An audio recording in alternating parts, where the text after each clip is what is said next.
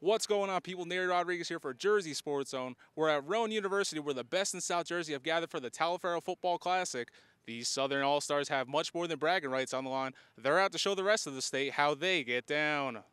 If you're from the southern part of the state, this is the game you want to be playing in.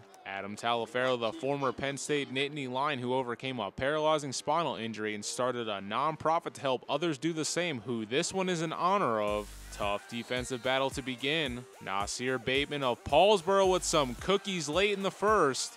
That sets up a 45 yard touchdown from CJ Barrett to Michael Johnson of Timber Creek with 136 on the clock. Extra point no good. White with a 6 0 lead at the end of one. Midway through the second, hometown hero John Maldonado of Glassboro with a great grab to put his squad on the one. Next play, CJ Barrett going to find Kingsway receiver Kevin Zenner for the TD with 8.26 remaining. Another failed extra point, making it 12 0. A botched punt return puts Blue on the six yard line. White forces a fourth down, and they get the stop as we'll remain at that score going into halftime. Blue starting the second off with some fireworks. Purvis Hatcher of Cumberland on a mission from deep in his own end zone, and he's out.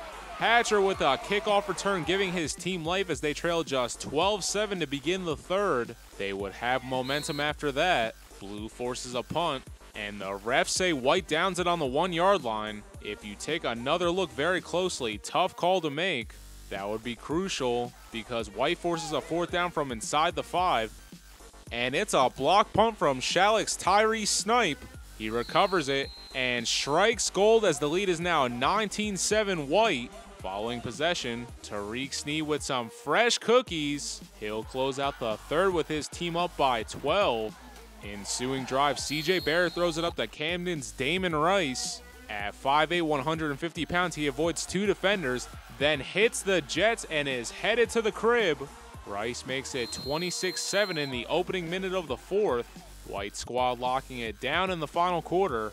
Ryan Jennings of Eastern somehow comes down with this ball. Blue would score late in the fourth, but this one too far out of reach for a comeback. 26 to 13 is your final from Rowan University. White squad led by Timber Creek head coach Rob Hinson winning the Battle of South Jersey. Quarterback CJ Barrett, you're a winning MVP. The future Rowan player will come into camp a few weeks from now with a good resume. He ends the night 14 for 27 with 199 yards passing and three touchdowns. On defense, Naseer Bateman setting the tone all game. The Paulsboro linebacker had a sack and an interception. Best part was he wasn't even supposed to be on the team.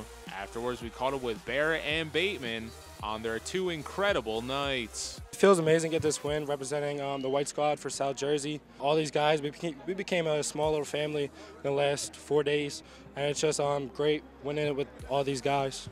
It's a blessing to even play this game because you get picked from everywhere. For me to even be, I don't even think I was noticed going into this game. I wasn't even supposed to be here actually because the running back from Paulsboro, my boy, Deron Holloway, he was really picked to play in this game, but he declined the invitation. So then my coach, Glenn Howard, had picked me to uh, be the next one up to play in this game and represent Paulsboro. I'm Nery Rodriguez, and you already know it's Jersey Sports Zone. Want to see highlights and features from your favorite school? Jersey Sports Zone is entirely supported by our great sponsors. Email marketing at jerseysportszone.com to get your business in front of our loyal audience and highlights from your hometown.